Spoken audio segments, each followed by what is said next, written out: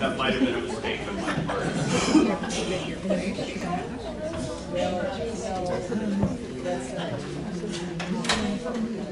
All right, I'll see what I can do. Oh Lord, open my lips, and my mouth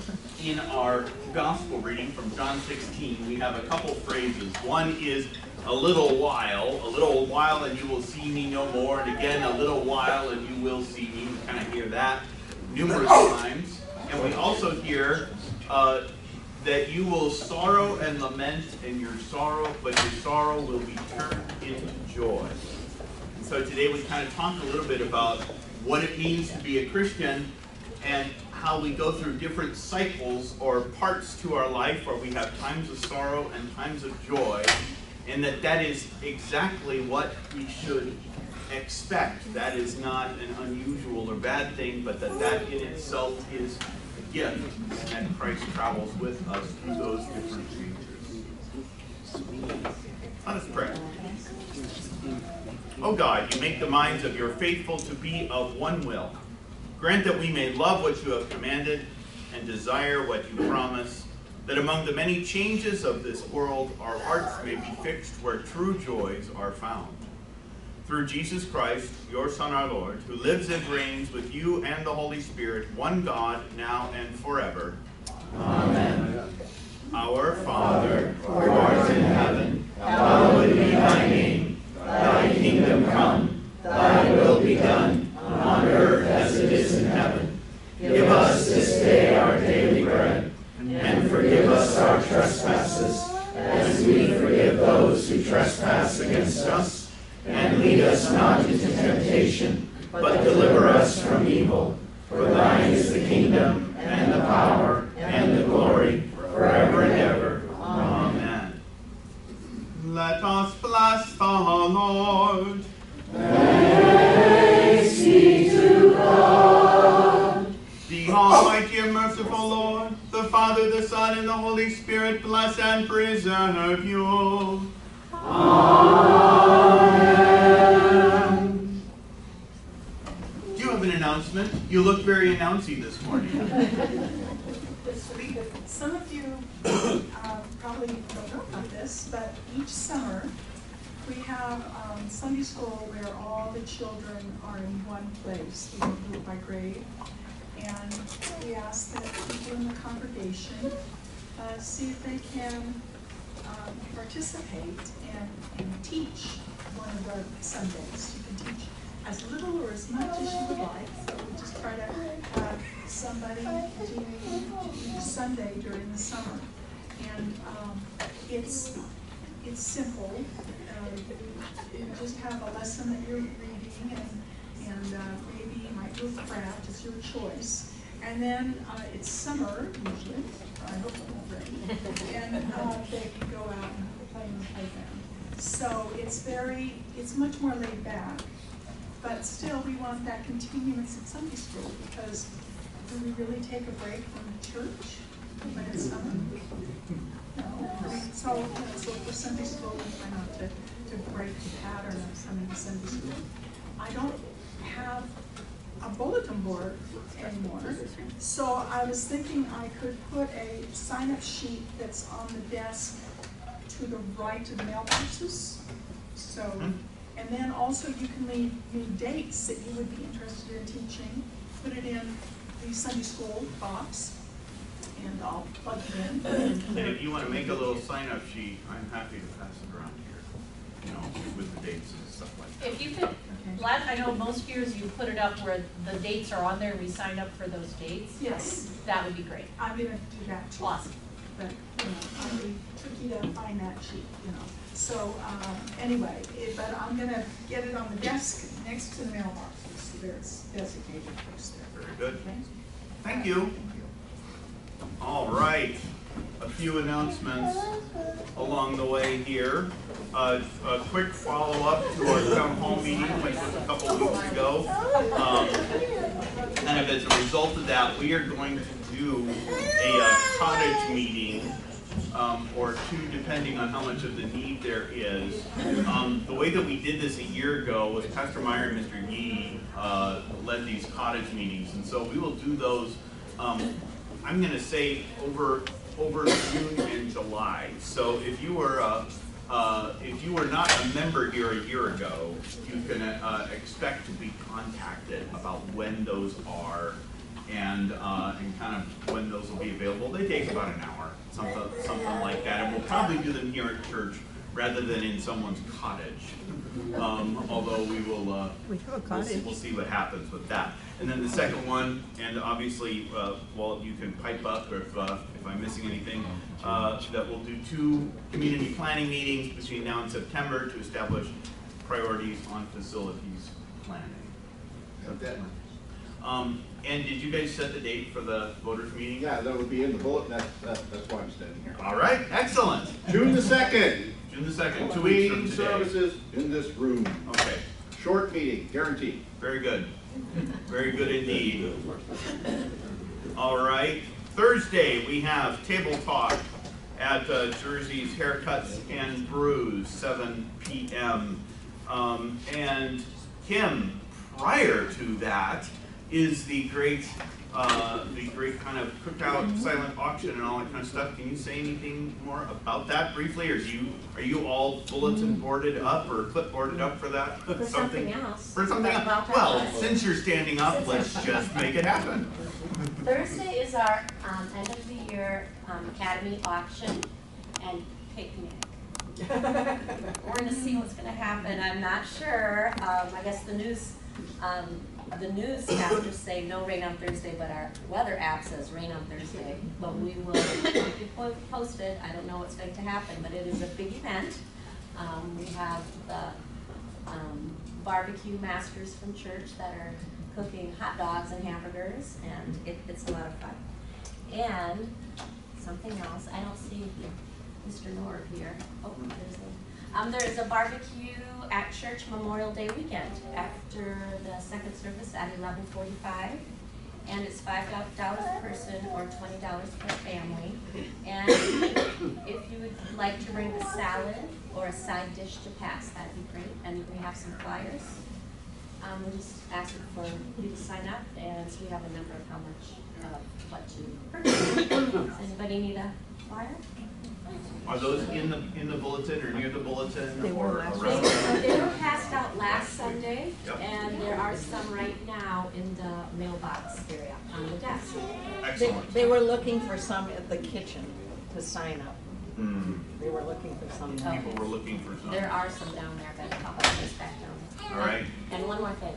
by all means. Um, this is our third year of Phantom fireworks sale for the Academy. The first year, we sold fireworks, we made five thousand dollars. Last year, we made ten thousand. This year, we're shooting for twelve. Good to see you're not being greedy here. Well, we talked about it at our staff meeting on Thursday, and I, and I told the staff, we're going for twelve, and they're like, twelve? Let's go for twenty. I'm like, oh, okay, we can do it. But to do that, I need bodies. Um, we sell fireworks for a week. We start on June twenty-seventh, and we sell till July fourth.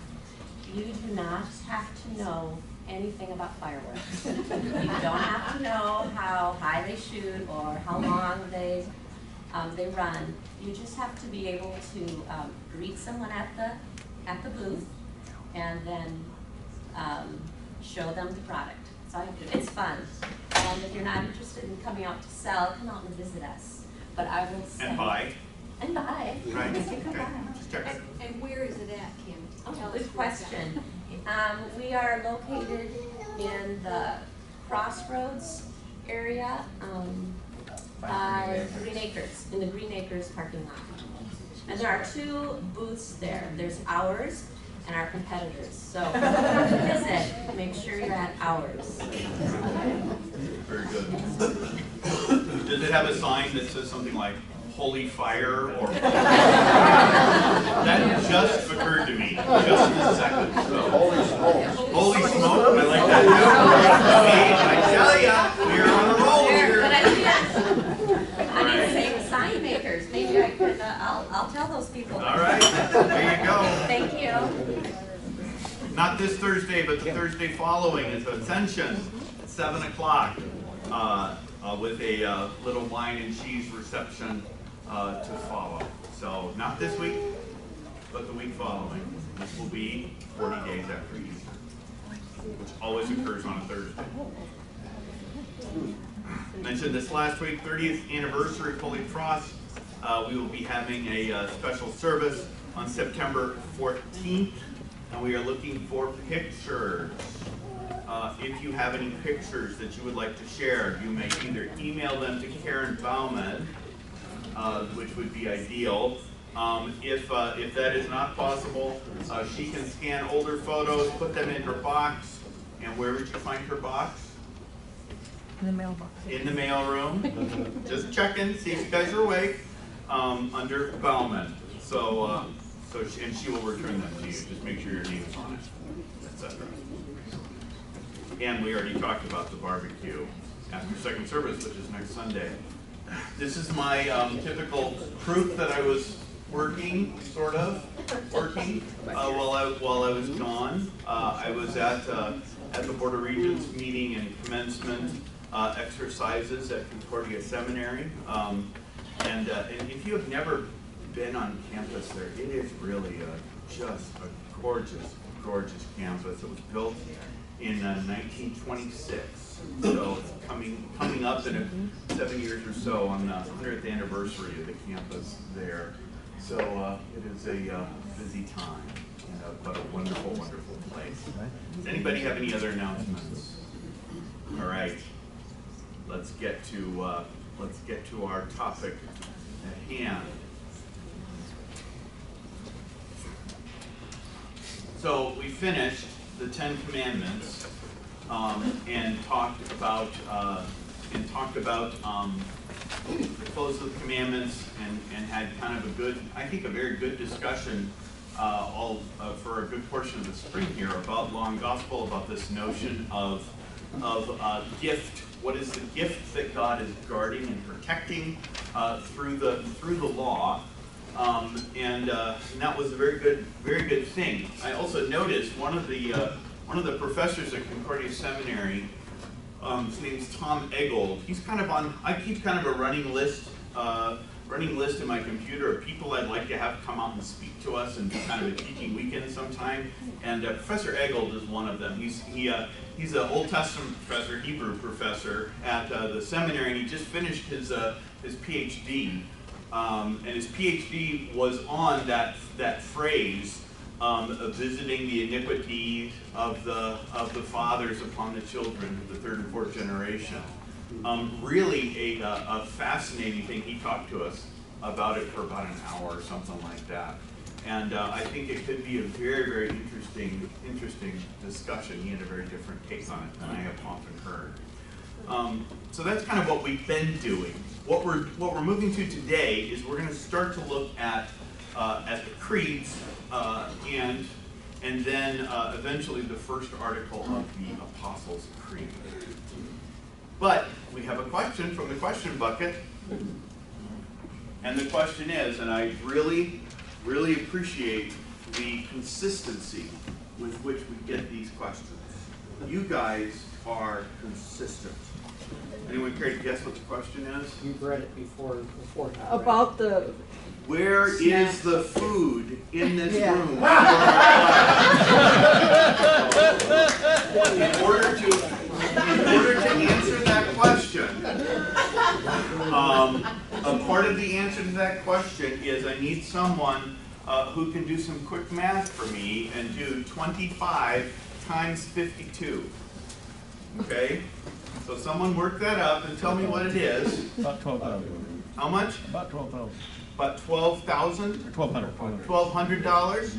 All right, twelve hundred dollars a year is uh, a conservative estimate of what it will cost to have food in this room. Because it, because uh, we figured that the minimum that it would take is uh, an hour a week for our, uh, for our janitors to add this room to the cleanup list. We actually have some very small janitors that do cleanup on here on Monday morning, and that is um, uh, Kim's kindergarten class comes in here on Monday morning and picks up all of your coffee cups and other random things that are left every single week. So, uh, so yeah, yeah, maybe we should pay them twenty-five dollars. Um, but, uh, but that's kind of the, uh, that's the issue, is simply, where does the money come from? So, so I'll let you guys reflect on that, and, uh, we'll move forward. What is the Apostles' Creed? Well, before we can answer that question, we have to answer, uh, what is a creed? In order to answer that, we have to go to God's Word. This is from St. Matthew's uh, Gospel, chapter 16. Now, when Jesus came into the district of Caesarea Philippi, he asked his disciples, Who do people say that the Son of Man is? And they said, Some say John the Baptist, others say Elijah, others Jeremiah, or one of the prophets. He said to them, But who do you say that I am? Simon Peter replied, You are the Christ, the Son of the living God. Jesus answered him, Blessed are you, Simon, son of Jonah. For flesh and blood has not revealed this to you, but my Father who is in heaven. And I tell you, you are Peter, and on this rock I will build my church, and the gates of hell shall not prevail against it. I will give you the keys of the kingdom of heaven, and whatever you bind on earth shall be bound in heaven, and whatever you loose on earth shall be loosed in heaven. And he strictly charged the disciples to tell no one that he was the Christ. So we find, of course, in numerous places in the scriptures, and, and uh, really we could, we could begin uh, in the Old Testament, but for our purposes, this is a, this is a good place to start. Um, the requirement of, of God's people to, uh, to confess or to, to speak what they believe. The word, the word creed comes from the Latin word credo, which simply means I believe. Okay, so that's where the word comes from. Um, and we use a couple words kind of interchangeably creed and confession or confess. And to confess means to, uh, to tell the truth, to speak, or to, or even a little bit more literally, uh, to speak the same thing, or to speak, speak together. So God says you're a sinner, and I say I'm a sinner. We are then confessing to God what God has given to us. So we are saying the same thing about ourselves that God says about us. And God says, I love you, I sent my son to die for you, and I confess and say, I believe in Jesus Christ, who has redeemed me. And so we say the same thing back to God that God speaks to us. That's the very, that's kind of the notion or the concept of the creed. And here you get in this in this episode with Jesus and his disciples this it, it can't just stay inside. It's got to come out your lips. that that's what it means to confess. If I'm only confessing in my head, then I'm not actually confessing. Um, and so, you know, what are the people saying? What's the word on the street? Some say that I'm Mo- some say you're Moses, some say Elijah or one of the other prophets. But who do you say that I am? That's the that's the question that Jesus gives to Peter and the other disciples. Who do you say that I am? And Peter replies, kind of on behalf of the whole, but he replies, You are the Messiah, the anointed one, the Christ, the Son of the living God. So Peter speaks what he learned from his uh, from his catechism study, what he learned from the scriptures, and what he had come to recognize in Jesus, that Jesus is the Messiah, the Christ, the Son of the living God. Now notice something incredibly important that comes next. Blessed are you, Simon, Bar Jonah, which just means son of Jonah. Flesh and blood has not revealed this to you, but my Father who is in heaven. So this is not something that comes from inside you. It didn't start there. But where did it start? It started in God. So God speaks, and we confess that it's that back and forth. We kind of talk a little bit about this, this rhythm of the Christian life a little bit in the sermon this morning. And here we get that same rhythm that God speaks, and we listen and speak back to God what God says says to us. And over and over and over again in our lives as Christians, it's this pattern of, of listening and speaking. Uh, one of the uh, uh, bonus questions that I give to my, uh, my uh, catechism students, I, I use a, uh, a, a specific definition of prayer. And my definition of prayer is prayer is a conversation God starts in His Word. And that's, but that is the exact same con- concept. God speaks in His Word, and we speak back to Him in, in prayer. So this goes back and forth, back and forth. Is everybody with me to this, to this point? So in the scriptures, we find a few different um, confessions or creeds.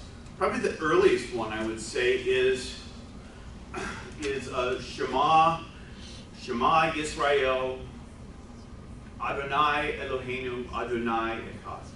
Hear, O Israel, the Lord our God, the Lord is one. So we get that in Deuteronomy. And we get, uh, we see in the book of Acts uh, numerous times that it seems like the sort of sum up earliest confession of the church is Jesus is Lord. That that means that he is God, that he is, but he is not simply a God, but that he is my God.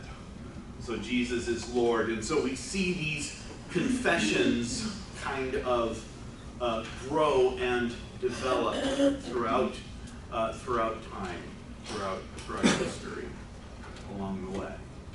Um, anybody have any, any questions about kind of what a what a creed is? What does it mean to say what to say what we believe?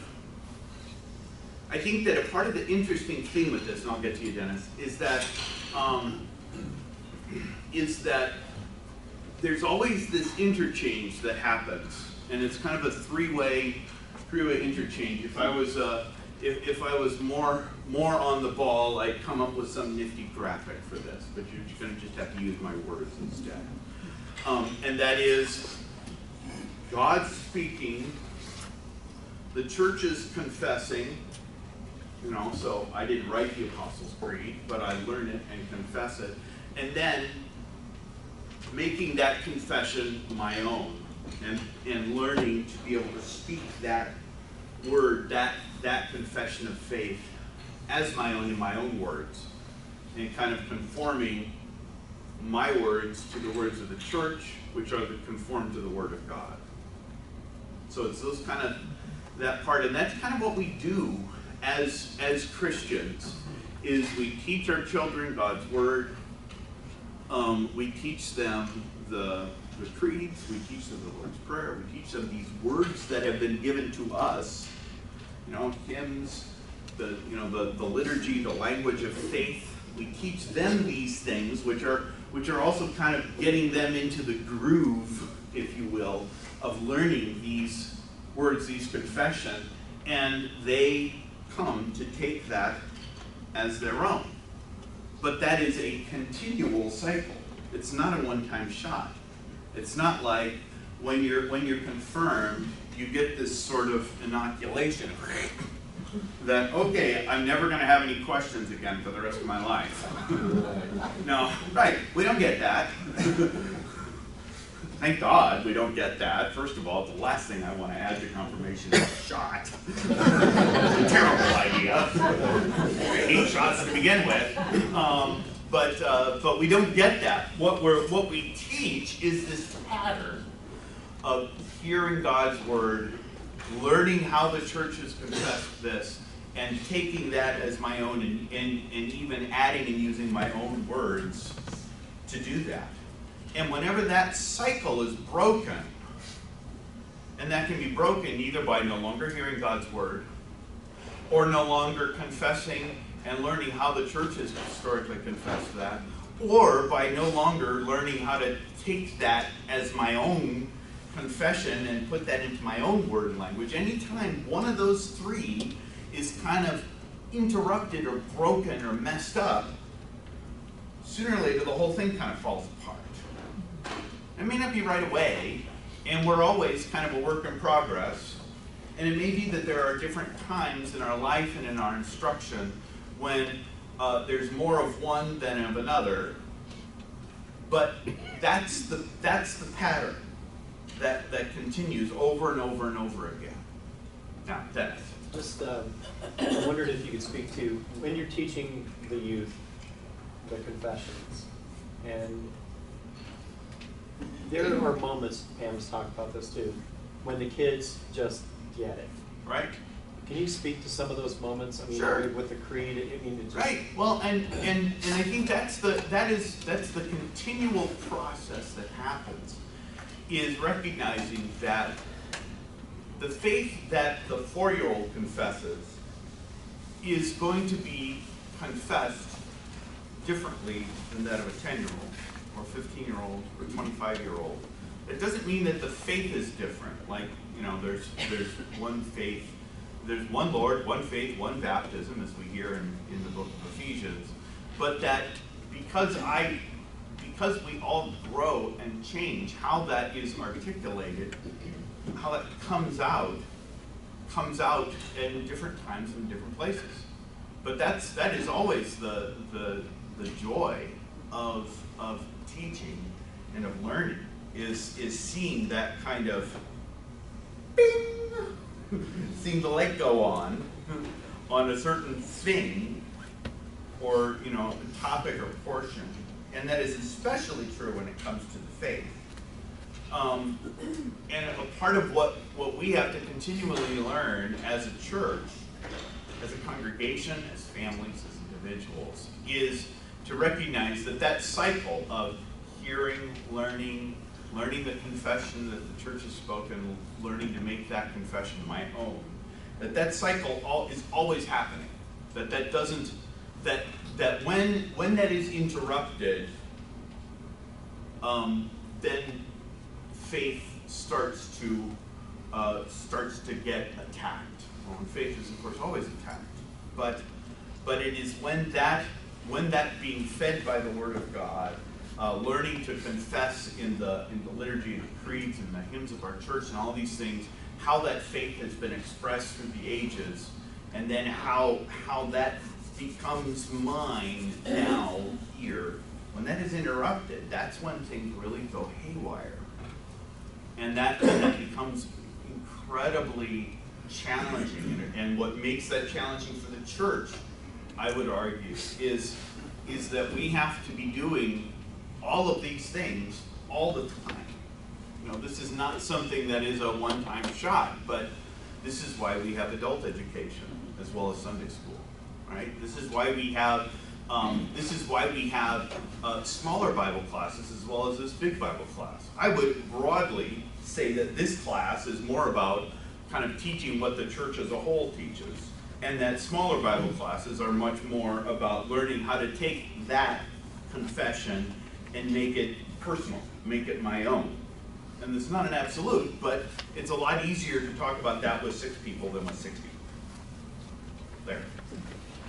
to make your job more, uh, more complicated, is I would say that there's another interruption, I believe it. and that is when, uh, when, I not, I'm guilty of it. When you've done it so long and you've got this stuff memorized that you don't need, uh, you don't need the, uh, Right. the the eulogy, and you're on autopilot. Yeah, absolutely. And I would, I would say that that's not another, I would say that that's the interruption to number two and three. Is, is that, uh, how many of you have ever gone to church and then at the end of the church wondered what, what you actually said? I have, and I'm the pastor. And, and that we all kind of have those, those um, autopilot, autopilot moments where you kind of, uh, uh, get into, get into the, the, the, get into the routine. And I am a big believer in routine. I am not at all thinking routine is bad. But you get into the routine, uh, to such a point that, that you, you lose that, that tie between the Word of God, the confession we're making, and, and making this confession my own. And that happens all the time. This is a, this is a continual cycle, and this is also why, by the way, it is such a gift that I can have one of those Sundays where, huh, I wonder what I, uh, I wonder what I heard. I wonder what I preached. Um, or I can have one of those Sundays and still trust that God is, God is still at work. Even when my attention wanders, even, even when my um, autopilot kind of is, is autopiloting me over the cliff, um, etc., that God is still at work in this time and place. I think that's a big thing. Now, I see a few hands. Jill, Ada, Barbara, Howard. One of the first times that confession and the creeds really came alive, we were two different types of services. Mhm. But we all faced each other Mm-hmm. And we confessed the creed, so we were speaking. Right. We weren't just talking to backs, Right, we were talking to spaces. right. That's And interesting. That was a very, um, that was kind of a powerful thing, But that strictly was for me, I don't know about anybody else. Yeah. Um, but I really thought that had a really, Well, and, and I, and this is, and there's a, there's a move that happens that I, that I think is a very interesting one. You're, and, and you're kind of getting at it there, and that is that, that I'm not, I'm not confessing the creed simply to God, although I am doing that. We're doing it, right, I'm doing it, um, to God, but mostly, I don't know, I'll have to think about this. Um, but I'm doing it for each other, you know, because God knows what I believe, right? You know, it's not like this is some, what? she thought that? You know, it's not like this is a surprise to God, right? Um, but I am speaking this, um, for the, for the sake of all of those who are around me. And that is more obvious when it's done around the dinner table, um, than, than it is, uh, than it is in corporate worship. I, I totally, I, I, agree, and I can see that, see how that would benefit. Uh, I think Ada was next. Yes, um, I got a question, this is something different. Uh, it said that, um, it was revealed to you by my Father who is in heaven. Right. How do you, um, think that it was revealed to Peter? Through, um, his contact with Jesus? Or a vision, or, Um, I would say not a vision, but that the, that the whole point of this is, is through the teaching of Jesus and through the scriptures. You know, think of did that, he, um, did he have the scriptures? Sure, he had the Old Testament. That's the Bible. That's the scriptures. And that's and that's kind of the point. I mean, we have more scriptures than Peter had, but that doesn't mean that he didn't have it. Um, that he has the scriptures, and that the scriptures, you know, these are they that testify of me.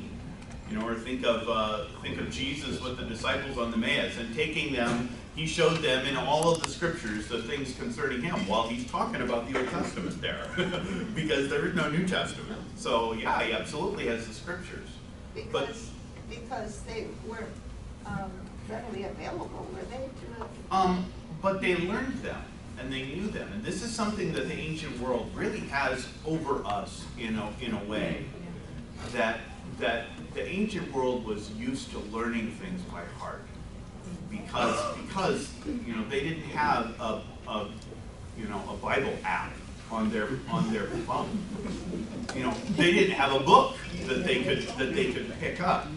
What they, but what they had was their mind and their hearts. And so they would, they would learn these things um, by heart. A part of how the scriptures were passed on in the early church was that, um, was that you had the, the office of lector, and I would, a reader, and I would argue that, that in many cases, what that meant, especially in the early years, was that when a book, you know, like uh, Paul's letters are kind of, are kind of moved from place to place. Um, and a part of what would happen is when, when Paul's letter to the Galatians got to your place, all right, you know, lector, lector Bob, uh, your job is to memorize this book.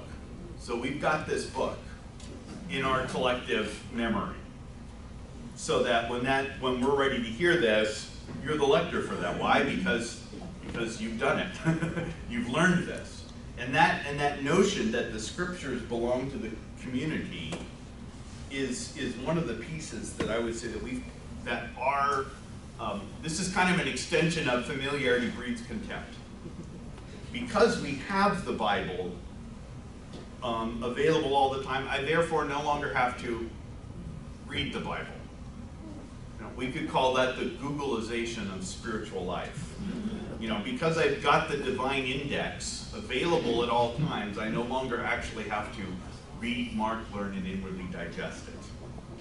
Um, and there's and there's a there's a notion of, of learning that to have this, and I don't just mean rote memorization. Don't don't mishear me here. And I'm not and I'm really not saying this in a uh, you know kids these days don't do any work and trying to be crabby pants. Um, but but we there's no question that culturally we have lost the idea that um, that in order to truly get something, it has to be has to be internal. Maybe one of the places that I still see that is in music. You know, most of the time, if you go to a um, if you go to a musical performance, a vocal performance at least, it's expected that they're going to have everything memorized.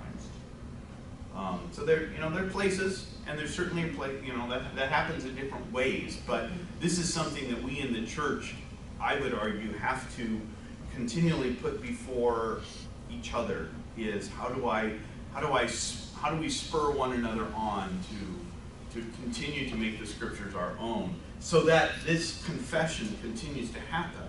Because this is how God, this is how faith grows, is through God's word and spirit.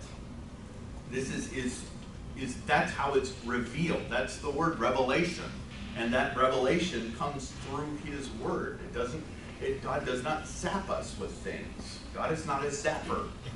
Um, that's, God works through his word. That's how he promises to speak to us.